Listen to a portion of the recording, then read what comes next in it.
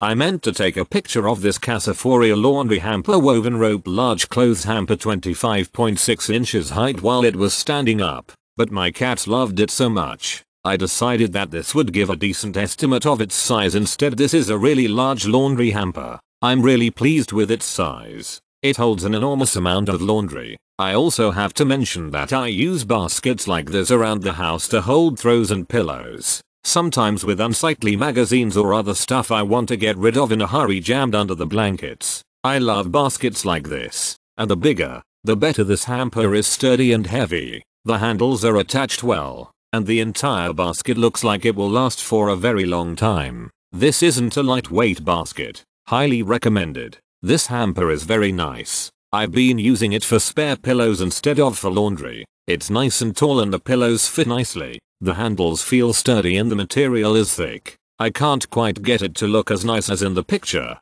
but I still think it looks nice. I'm creating a spare bedroom in my basement and think this will look nice at the foot of the bed once my project is complete. I'm obsessed with these woven cotton baskets. I've got them all over the house for all sorts of functions. This one I'm using for laundry in my small bathroom. I love the shape and colors. The size is perfect to use for laundry but would be good to store pillows, blankets, or plush toys. They do take some time after shipping to get to the correct shape. I find stuffing with large blankets and or pillows for a day or two will do the trick.